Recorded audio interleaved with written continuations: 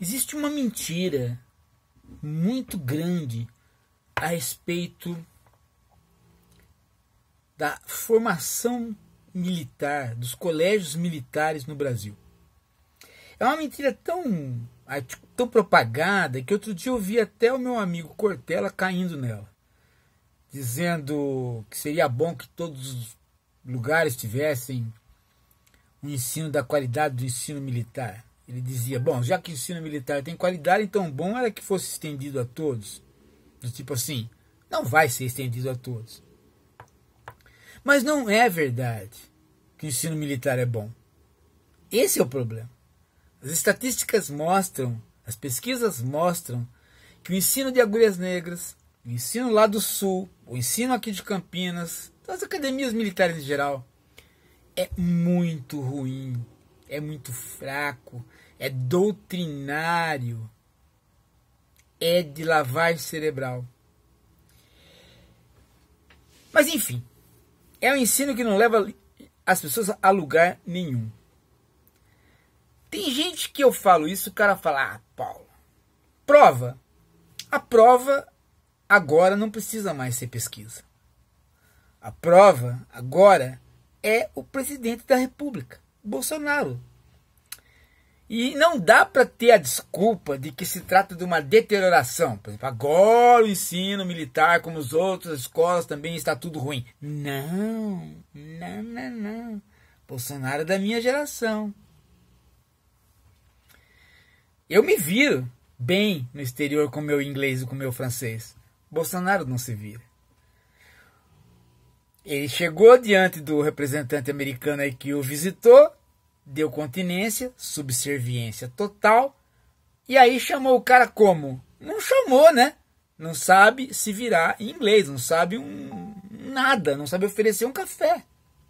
Ficou fazendo sinal feito um macaco, um símio. A escola pública me deu condições.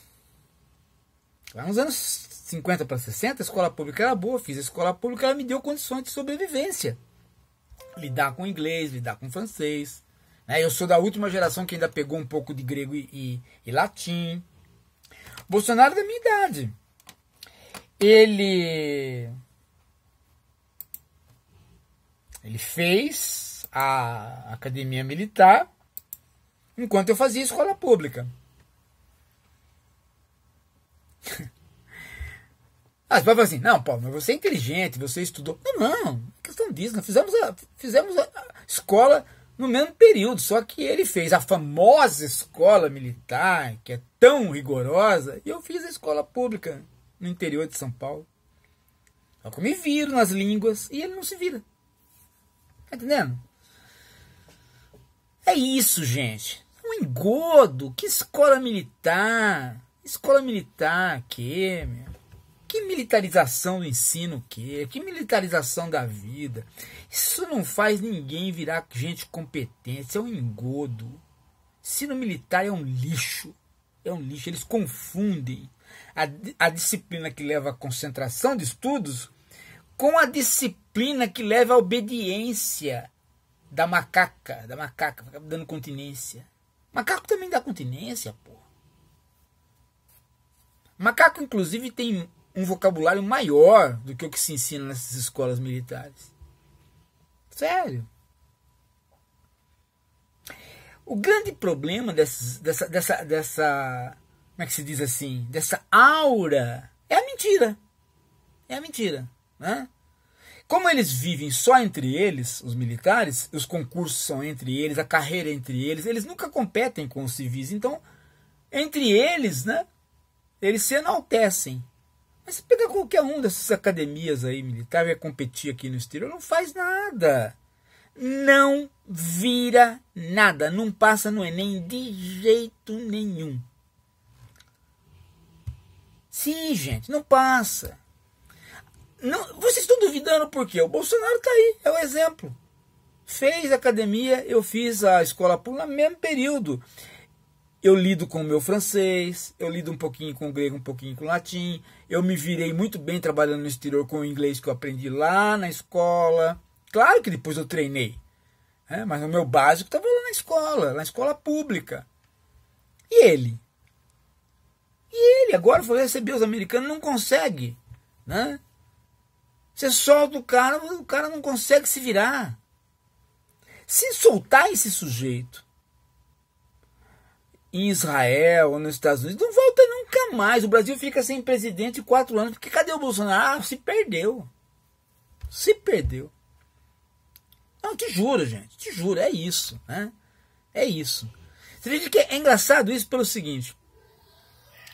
Você pega uma série de outros presidentes que tinham dificuldade com a língua, mas o básico eles conseguiram aprender. Por exemplo, você pega o Lula, que ele tinha só o ensino básico, né? só o ensino técnico da, do Senai Senac. Mas ele conseguia se relacionar, por quê? Porque ele, ele escutou um pouquinho, ele entendia, né? ele falava algumas coisas, o assessor ia ajudando. O Bolsonaro nem isso, nem isso. E ele tem um colégio, tem um colégio, terminou o colégio. Chegou até a fazer um pouco do ensino superior deles lá da Academia Militar, que dava um diploma dele para eles de educação física. Eu também fiz esse curso. Também fiz. Né? Antes de fazer filosofia, eu fiz educação física. Também fiz. Né? Se puser eu para fazer 10 flexões, eu faço, o Bolsonaro não faz. Somos da mesma idade.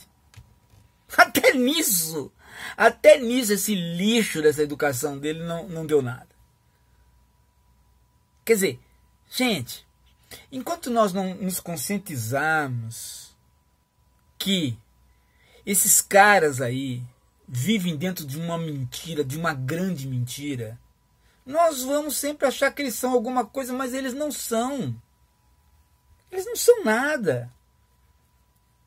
Você acha que uma pessoa que tem alguma, alguma coisa na cabeça, senão, senão um grande estrume, iria nos Estados Unidos com um boné da campanha do presidente Trump?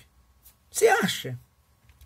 Quer dizer, por mais que a pessoa fosse subserviente, isso é um comportamento de, uma, de um adolescente vestir uma boné da campanha de um presidente estrangeiro, sendo filho do presidente e sendo deputado, deputado bem votado. O que, que tem esse cara na cabeça? Aí o pai chega aqui, o, cara, o pai da continência pro americano, já tinha dado continência para a bandeira. em qualquer país do mundo, gente, se um presidente faz isso, ele é destituído na hora. Porque ainda resta no mundo alguma coisa chamada nacionalismo. Ainda resta no mundo alguma coisa chamada patriotismo. Por mais que as relações sejam globalizadas, os Estados-nação ainda existem. Você já, você já pensou? O presidente francês, ou, a, ou qualquer outro, presidente português, presidente angolano, chegar e dar continência para um, uma potência mundial, você acha que ele volta para casa? Você acha que ele volta para casa? Não volta para casa. Esse, ó, Bolsonaro fez isso. Ele não tem, ele não tem, a, ele não tem, a, ele não tem a dimensão do cargo que ele está ocupando. Ele não sabe qual é o cargo que ele está ocupando.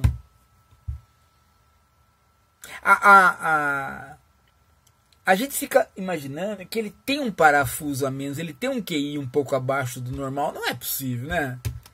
Não é normal, gente. Aí, se não bastasse isso, os filhos dele, além desse, desse um que foi para os Estados Unidos, que é uma topeira, o outro que ficou aqui ficou falando que querem matar o pai e quem quer matar o pai tá, tá pró, quem quer matar o pai tá próximo do pai. Pô, bicho, você não pode falar uma coisa dessa. O próximo do pai, ou é ele próprio filho, ou é o, o, o Mourão, pô. Quer dizer, ele está fazendo uma acusação ao vice-presidente da República. Como é que esse cara não. não que, um, meu Deus, será que esse menino é um débil mental que nem o outro? O, o mais votado, número um, é um débil mental. Esse aqui tá. Não. Não. Se meu irmão mais velho é uma besta, eu não posso ficar atrás. Eu tenho que também ser uma besta. Aí vem e fala uma coisa dessa. Gente, olha, eu sinceramente eu tô pasmo. Eu tô pasmo. As pessoas falam assim para mim: Paulo, você não pode ficar pasmo. Esse pessoal segue Olavo de Carvalho. Olavo de Carvalho é um cara né, que, se você é, for na, num sítio, numa fazenda com ele, ele não entra.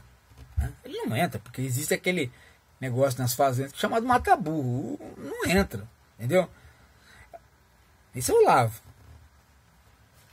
Aí, você pode falar assim para mim, é, se ele que é o mentor, né, imagina os outros. Mas a gente não, mas a gente não quer acreditar nisso. Porque está tá muito aquém da espécie humana. Né?